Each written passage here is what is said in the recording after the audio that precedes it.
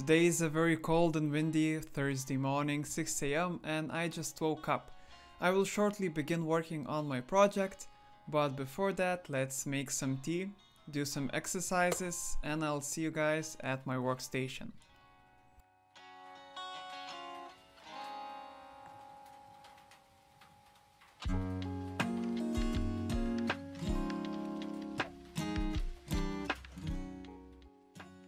Before starting to work on my project, I must study a bit while I'm still feeling productive enough for that. While studying, I was thinking how I can improve the look of my game. Now my game looks just really empty and not fun to look at, so my goal for today is to add uh, clouds into the background and also design different weather conditions to make the game look more dynamic and interesting.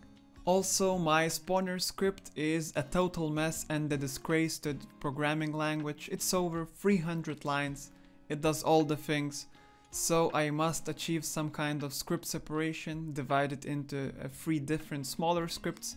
One will be like a manager and two different scripts will be responsible for spawning one uh, hostiles and power-ups, the other clouds and other background things. As you can see now the script is divided into three smaller ones. Everything works correctly. I had some troubles but was fortunate enough that it wasn't too hard and I made it in about 30 minutes. Now I can move on to the next step and it's pretty simple just to create the prefabs and spawn them correctly. My main idea is to have three different weather types, one will be dry conditions, second cloudy conditions and the third is the storm. I will try to use some different prefabs, also apply post-processing filters to make it look like I want to. Fun fact, clouds were drawn using Tropical tool because it looked better than the actual clouds tool.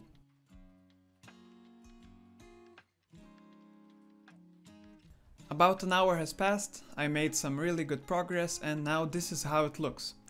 As you can see clouds are spawned correctly at the bottom edge of the camera. Now I just need to apply the script and move clouds when they are out of the camera view. Ladies and gents, place your money if the script is applied correctly and it will work or not. I am definitely putting my money that it will absolutely not work.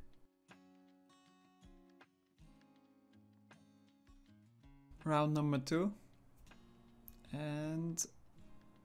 No exceptions, and yes, it works. Fun fact number two, it didn't actually work correctly, so I spent another hour fixing that, and I'm beginning to feel like a true game developer. Eventually, I am here and as you can see it works, but I just need to add one more layer that is in front of the player and not behind him and it should look something like this. My main idea was to make you feel like you're crossing a cloud cover when you go down. I don't know if it worked, but I think I like it. Dry weather conditions are somewhat done. I will work on it tomorrow and now I have some unpleasant bugs to fix. I will not show that because that is not interesting, so see you guys probably tomorrow.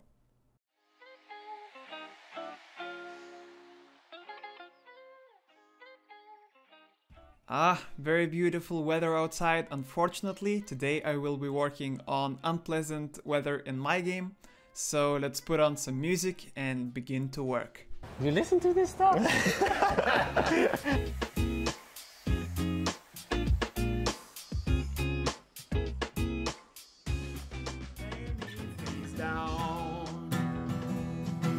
From the rubble, what do I see?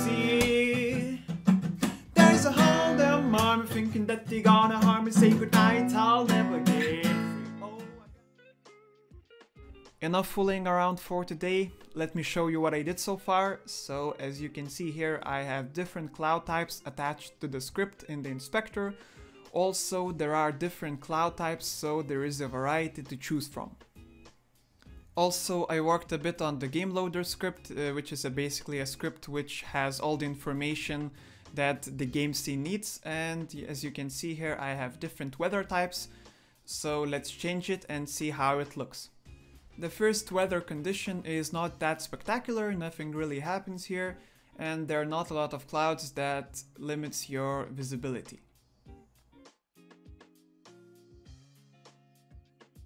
Next we have cloudy weather conditions and there are a lot of clouds that limits a bit your visibility and the screen is a bit darker.